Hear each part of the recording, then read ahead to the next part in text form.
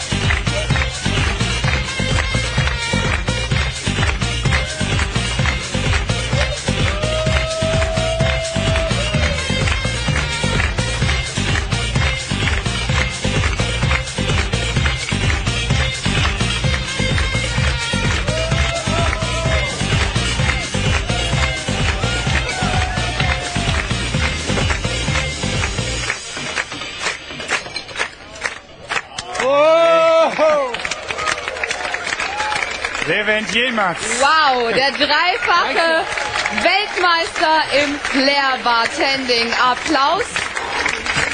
Super gemacht. Wir drücken ganz fest die Daumen, Levent, dass es klappt am 14. Juli bei den deutschen Meisterschaften in Berlin. Und ähm, liebe Fernsehzuschauer zu Hause und hier in Mainz, Sie wissen ja, wie es ist. Manchmal glaubt man so, ah, der hat bestimmt Magneten dran gehabt an den Händen. Nichts dran und an den Flaschen auch nicht.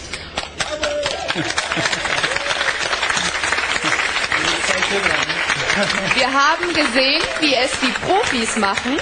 Und jetzt wollen wir natürlich sehen, wie es unsere Teams machen werden. Kein Unterschied.